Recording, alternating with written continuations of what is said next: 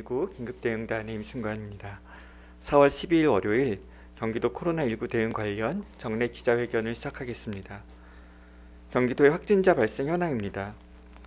4월 23일 0시 기준 경기도의 확진자 수는 전일 오전 0시 대비 176명이 증가한 총 3만 559명으로 도내 27개 시군에서 확진자가 발생하였습니다. 국내 발생이 173명이며 해외 유입 관련은 3명입니다. 신규 확진자 중 60세 이상 고령자는 41명으로 23.3%를 차지합니다. 감염 경로를 알 수 없었던 확진자는 22.2%인 39명입니다. 외국인 확진자는 3.4% 6명이었습니다. 지난 4월 4일부터 4월 10일까지 일주일간 일평균 확진자는 173명으로 전주 135명 대비 38명 증가하였습니다. 60세 이상 고령 확진자는 일평균 37명으로 전주 28명 대비 9명 증가했습니다. 진단일 당시 감염 경로를 알 수 없는 확진자는 일평균 48명으로 전주 38명 대비 10명 증가하였습니다.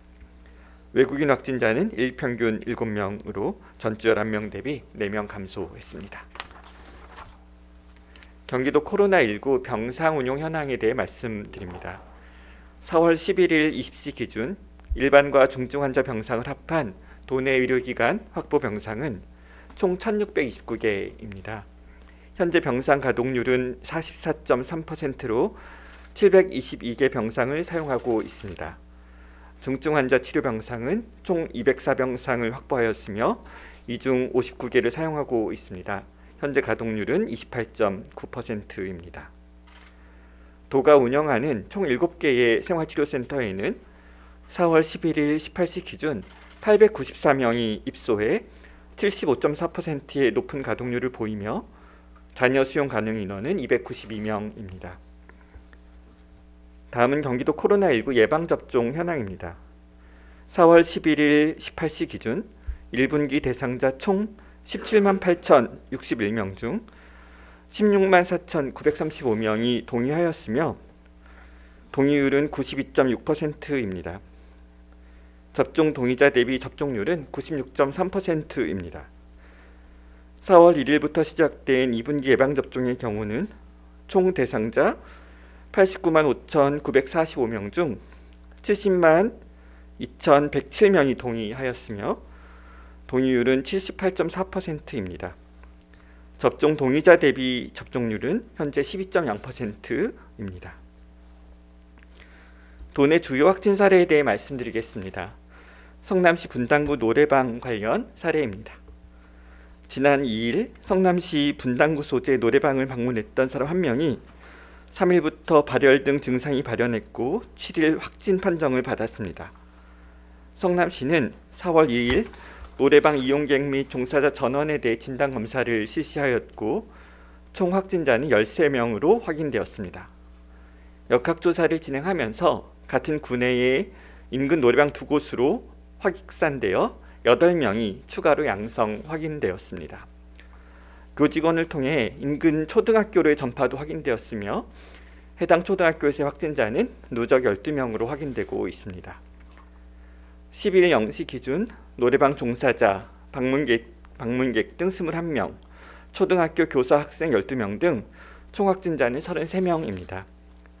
관련 노래방 시설에 대해 소독 완료했으며 운영 중지를 권고했습니다. QR코드나 수기 작성 명부가 미비한 경우가 있다고 판단, 진단검사 동료를 위해 수도권 재난문자 발송을 완료했습니다. 한 명의 노래방 종사자가 여러 노래방에서 근무한 것을 토대로 인근의 다른 노래방들에도 추가적인 조사를 진행 중입니다. 금일 브리핑에서 말씀드릴 두 가지의 사례는 유증상자 조기 발견이 초기 대응과 확산 방지에 얼마나 큰 의미를 가지는지 보여줍니다. 먼저 지표 환자 발견이 늦어지면서 유행이 확산되었던 사례입니다. 지난 3월 22일과 23일 도내 모 사업장에서 두 명의 직원이 확진되었습니다.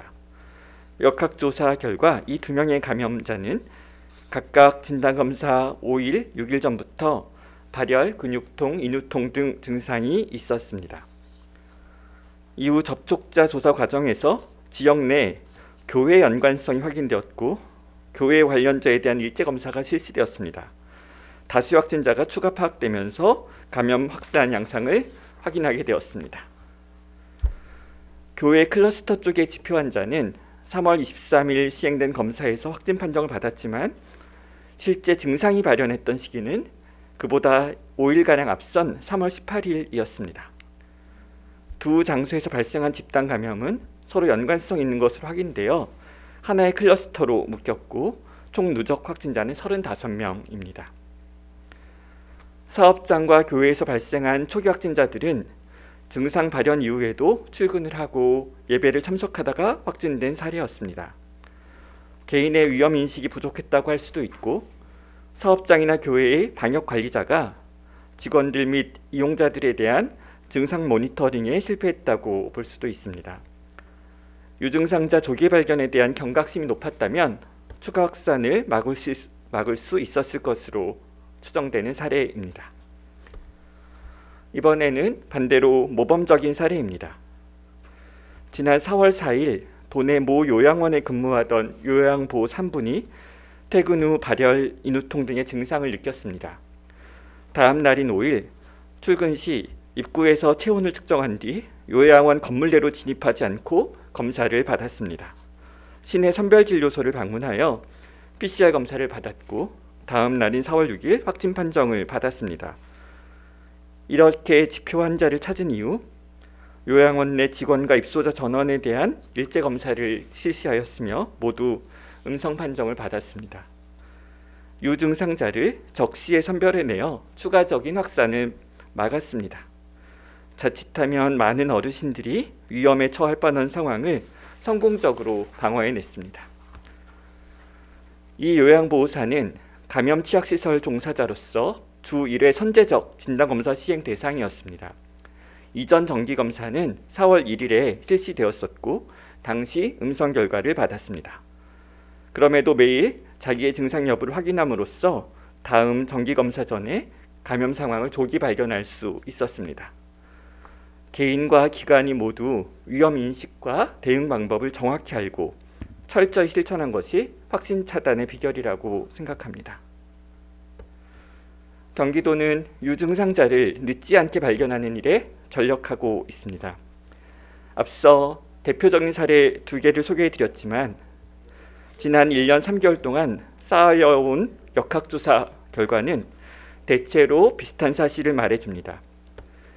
증상이 있는 사람이 늦게 발견되면 집단 감염 클러스터의 규모가 커지고 그로 인한 피해가 심각해집니다. 중앙방역대책본부에서도 약 23% 정도의 사례에서 위심 증상 발현 후 분리 조치의 실천이 시기적으로 적절하지 않았다고 보고했습니다. 유행을 완벽히 통제하기 위해 무증상 감염자부터 찾아, 찾아내야 한다는 요청도 있지만 이는 현실화하기 어렵습니다.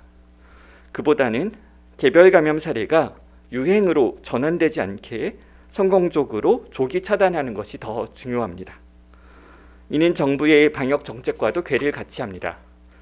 정부는 지난 6일부터 보건소 선별진료소에서도 증상 여부나 주소지에 관계없이 검사를 받을 수 있도록 하였습니다.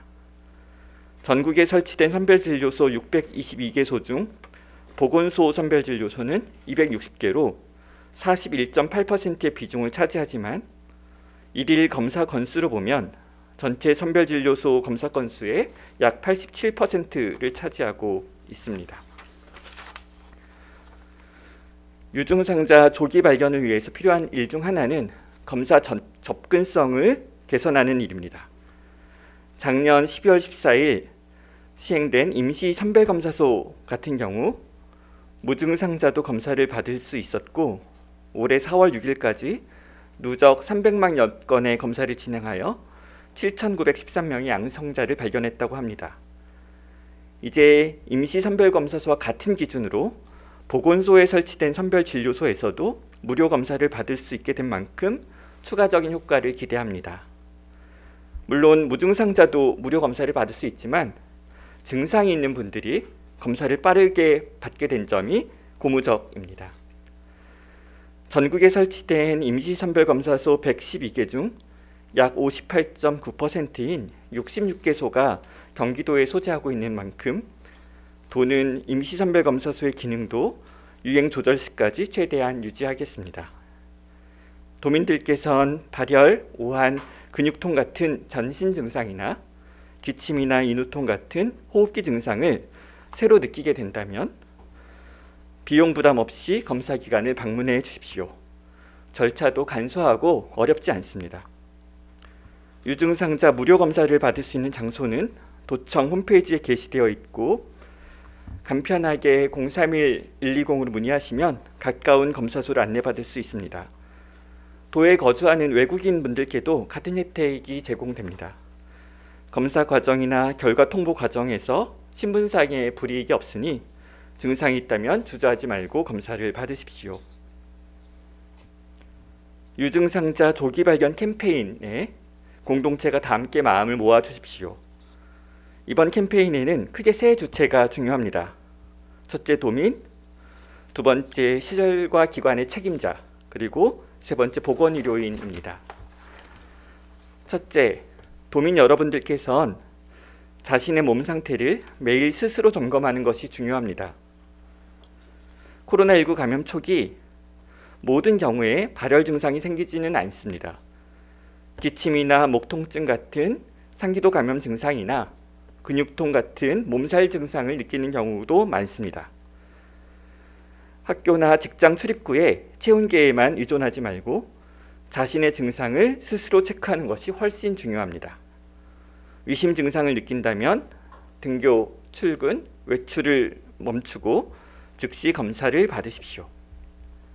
둘째, 학교나 사업장, 종교시설, 다중이용시설 등의 관리 책임자들께서는 해당 공간에 방역 관리 책임이 있습니다. 여러 가지 방역 수칙 중 핵심은 증상 있는 사람을 늦지 않게 찾아내는 것입니다. 체온 측정 기록부에만 의존하지 말고 적극적으로 종사자들의 증상을 모니터링하고 관리해 주십시오. 시설과 기관의 대표는 이에 대한 책임이 있습니다. 도는 이를 돕기 위해 홍보 자료 및 교육 프로그램 제공, 실행 매뉴얼 배포, 관리를 위한 애플리케이션 개발 보급 등을 진행하고 있습니다. 세 번째로 도내 보건의료인 분들의 역할도 중요합니다. 지역사회 병의원과 약국 등은 증상이 있는 도민들께서 무심코 방문할 확률이 높은 곳입니다. 성실한 안내자 역할을 맡아주셔야 합니다. 의심 증상이 있는 분들은 질, 유상, 의심 증상이 있는, 있는 분들을 진료하거나 면담하시게 되면 코로나19 검사를 받도록 잘 안내해 주십시오. 도는 이를 돕기 위해 도내 모든 병의원과 약국에 배포할 포스터와 전단지를 제작하고 있으며 의학계 단체와도 긴밀히 협의하고 소통을 강화하고 있습니다. 코로나19 바이러스는 빠르고 강합니다. 합리적인 유행 대응 전략은 통제가 아니라 조절입니다. 도는 유증상자 조기 발견이 유행 확산으로부터 공동체를 보호하는 최선의 전략이라고 판단하며 이에 집중하겠습니다. 비용 대비 효과가 높은 최고의 전략이 될 것으로 믿고 있습니다. 서로가 서로를 지킨다는 믿음 속에서 뜻을 모아 함께 해주실 것을 당부드립니다. 감사합니다.